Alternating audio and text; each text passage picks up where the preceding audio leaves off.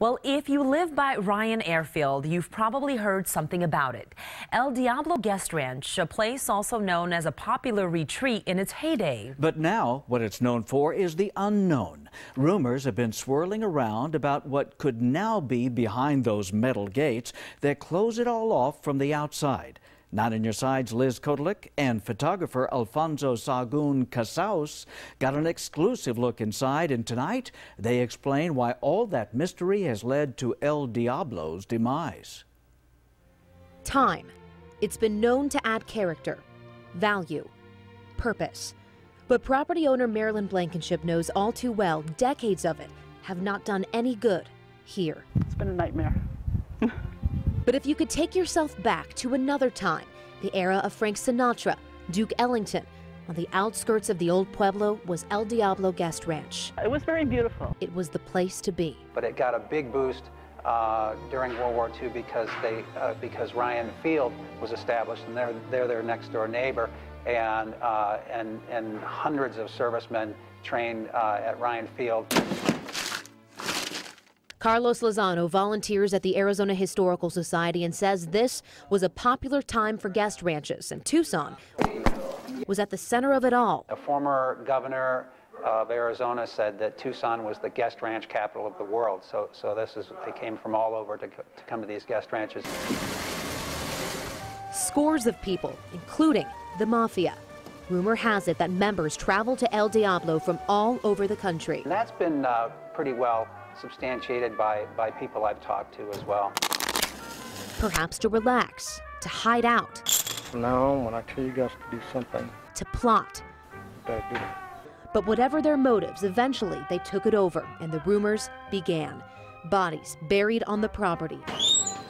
A secret underground hiding place for money, for jewels. But despite those rumors, people still loved it there. They relaxed by and dove into what was known as the largest pool in the state. They collected, I don't know, 50 cents, 75 cents from us or something to go swimming. A pool that has now turned into this. It's saddening. Henry Curtis stands in a dirty, empty hole just above what used to be the deep end that he once swam in as a child. I was here as a kid. I'm here now.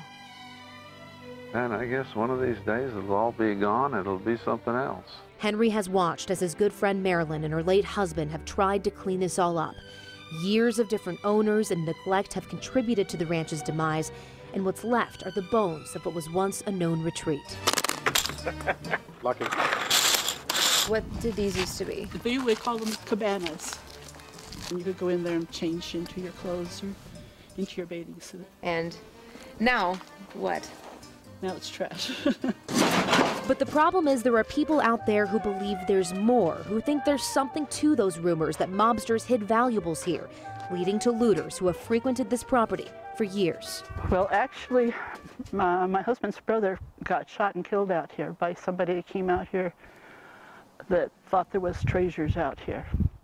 Shot my, my brother-in-law and also shot another guy that was living out here. Since then, all of this has become even more of a burden. And people are still coming in here and stealing things. Still are.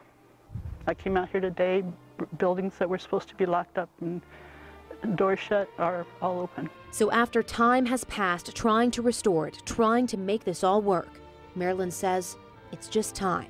That's kind of life, though. Time to say goodbye. It does that to you.